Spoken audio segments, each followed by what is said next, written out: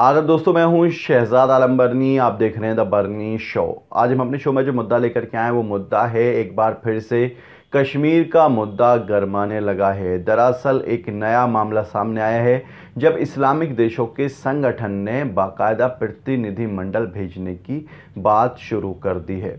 दरअसल आपको मालूम ही होगा कि 5 अगस्त 2018 को भारत सरकार की तरफ़ से एक बड़ा फैसला लिया गया, जिसमें धारा 370 को हटा दिया गया।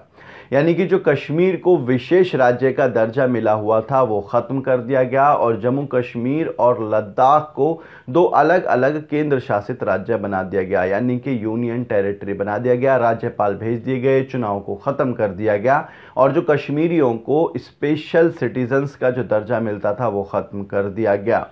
उसके बाद काफ़ी विवाद भी हुआ। कश्मीर में काफ़ी उथल पुथल भी रहे। कश्मीर के लोकल नेताओं को सालों साल जेलों में बंद भी रखा गया, नज़रबंद भी किया गया। लेकिन पिछले दिनों देश के प्रधानमंत्री नरेंद्र मोदी, अमित शाह और जम्मू कश्मीर के राज्यपाल के साथ कश्मीर के आठ पार्टियों के चौदह नेताओं की मीटिंग हुई, जिसके बाद काफ़ी सारी चीज़ों पर बात हुई।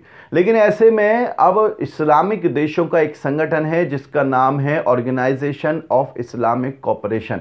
इसमें दुनिया भर के इस्लामिक देशों के सत्तावन देशों की संख्या है, जिसका ये पूरा एक संगठन है और एक दूसरे के लिए खड़े होते हैं। उसमें पाकिस्तान का नाम भी है। यानी कि कहीं ना कहीं ओआईसी में पाकिस्तान की वर्चस्व को बढ़ते हुए, देखते हुए उस पर इन्फ्लुएंस दिखाई देता है कि ओआईसी कहीं ना कहीं पाकिस्तान के दबाव में काम कर रहा है। पाकिस्तान के दबाव का ही नतीजा है कि ओआईसी के महासचिव यूसुफ अल ओथमीन ने सऊदी अरब में भारत के राजदूत औसाफ सईद से मुलाकात की और उन्हें बताया कि ओआईसी अपना एक प्रतिनिधि मंडल जम्मू कश्मीर भेज सकता है वहाँ की स्थिति को आकलन करने के बारे में। यानी कि कहीं ना कहीं ये एक तरह का ख़तरनाक चीज़ हो सकती है भारत के लिए, यदि ओआईसी की एक प्रतिनिधि मंडल पूरा आए और कश्मीर का दौरा करे और अपनी रिपोर्ट जमा करे तो ये भारत के लिए ख़तरनाक हो सकता है। हालाँकि इसको लेकर के भारत के विदेश मंत्रालय की तरफ़ से साफ़ तौर पर कहा गया है कि ओ इस मामले में बिना वजह हस्तक्षेप ना करे, ये भारत का आंतरिक मामला है। जबकि ओआईसी का कहना है कि यदि दोनों देशों की तरफ़ से शुरुआत की जाए तो वो सहायता कर सकते हैं और बैठ करके इसमें बातचीत हो सकती है और मुद्दे का हल निकाला जा सकता है। लेकिन क्या भारत इसके लिए तैयार होगा? क्या पाकिस्तान इसके लिए तैयार होगा? ये अपने आप में एक बड़ा मामला है।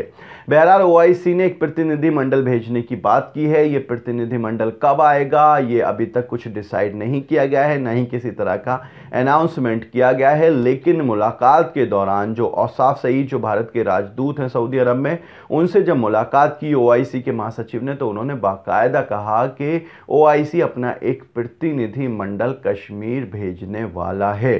अब इसको देखना होगा कि प्रतिनिधिमंडल कब आएगा, क्या देखेगा, क्या रिपोर्ट सबमिट करेगा, आगे जो भी अपडेट होंगे वो आप तक पहुँचते रहेंगे। आपको क्या लगता है कि क्या वाकई में ओआईसी को कश्मीर में अपना प्रतिनिधिमंडल भेजना चाहिए या नहीं भेजना चाहिए?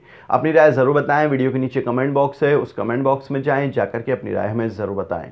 आज के इस एपिसोड में इतना ही, हमारी आपसे रिक्वेस्ट है, इस वीडियो को शेयर ज़रूर करें और हमारे चैनल को सब्सक्राइब ज़रूर करें और आप हमें सोशल मीडिया पर, यानी इंस्टा ट्विटर और फेसबुक पर फॉलो करने के लिए वीडियो के नीचे जो लिंक्स दिए हुए हैं, उन लिंक्स पर जाकर आप हमें सोशल मीडिया पर फॉलो कर सकते हैं। बहुत बहुत शुक्रिया।